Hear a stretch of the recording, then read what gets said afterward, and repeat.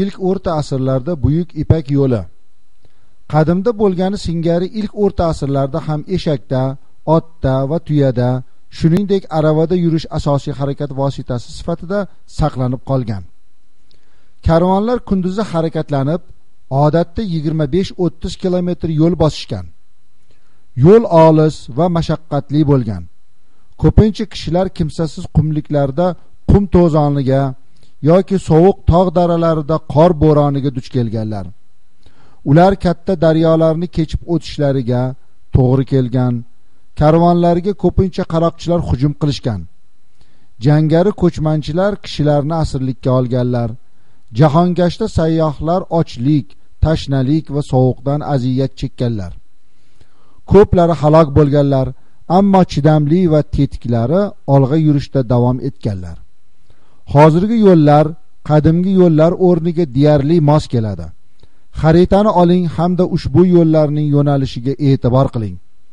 Yo'llarning biri toshkentdan qamchiq dovoni orqali farg'ona vodiysiga va undan sharqiy turkistonga olib borgan.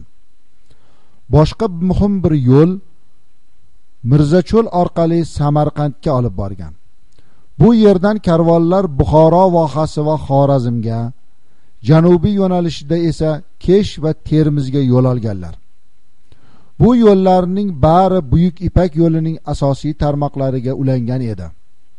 Masalan karvonlar buxorodan qoraqum cho'llari va marv shahri orqali eronga termiz va balxdan hindistonga chochdan yettisuv oltoy va xitoyga qatnaganlar. Ilk o'rta asrlarda xorazmdan volga bo'yi kavkaz va qora dengiz bo'ylariga eltuvchi yo'l muhim ahamiyatga ega bo'lgan.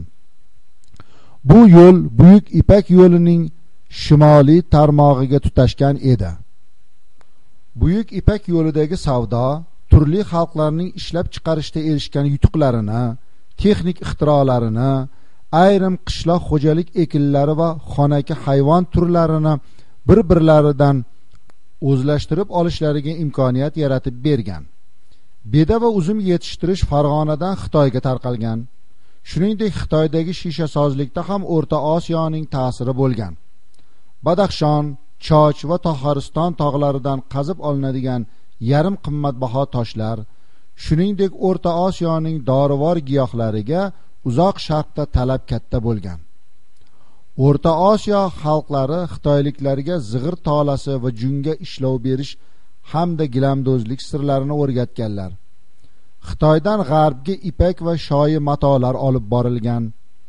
O'rta osiyo va umuman sharqda xitoy oynasiga hamda tog' ma'dani nefritga talab katta bo'lgan. So'x tangachiligida xitoyning ta'siri ko'ziga tashlanadi.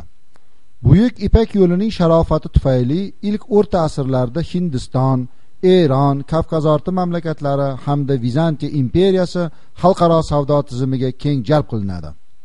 Xitoy fors va vizantiya tangalari shuningdek arab dengizi chig'anoqlari va hindiston durlari o'rta osiyoda keng tarqalgan topilmalar jumlasiga kiradi. Xitoy bilan savdo madaniy aloqalarining rivojida toharistonliklar chochliklar turkiylar va so'g'diylar katta rol o'ynaganlar. So'g'dlik savdogarlar hunarmandlar va binokorlar to to'qqizinchi asrga qadar buyuk ipak yo'li bo'ylab o'z manzil makonlarini solganlar. So'g'd barpo qilganlar yettisuv va sharqiy turkistonda ma'lum edi. Bu yerdan ular xitoyning dunxuan shahriga so'ngra esa mo'g'uliston va janubiy sibir hududlarigacha yetib borganlar. So'g'diylar xitoyda jamoa bo'lib yashaganlar. Ularning ko'pchiligi samarqandliklar edi. Ular o'z vatanlarida qolgan samarqandlik yaqinlari va qarindoshlari bilan xat yozishib turishgan. So'g'diylarning ayrim xususiy maktublarini ingliz olimi steven 1907 yili buyuk xitoy devori burjida olib borgan qazishmalari chog'ida topib olgan. Ular fanda eski maktublar degan nom olgan. Mahsulotlar va insonlarning bilimlar va madaniyat yutuqlarining buyuk ipak yo'li bo'ylab olis masofalarga tarqalishi va qo'shilishi sodir bo'ldi. Bu faqat diniy falsafa va turli xalqlarning urf odatlaridangina iborat bo'lmasdan yozuv tizimi badiiy asarlar musiqa va musiqiy asboblar badiiy madaniyatning ko'plab an'analarini ham o'z ichiga olgan. So'xt yozuvi sharqdagi uzoq o'lkalarga kirib borgan.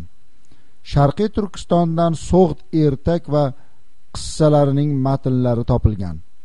Bular maymun bilan tulki dur teshuvchi rustam va uning devlar bilan jangi haqida qissa va boshqalardir. Yettinchi sakkizinchi asrlarda xitoyda chochlik samarqandlik va buxorolik musiqachilar va raqqosalar katta e'tibor qozonganlar. Ular xitoyga ilgari noma'lum bo'lgan musiqa asboblari arfa ud va nayni olib kelganlar.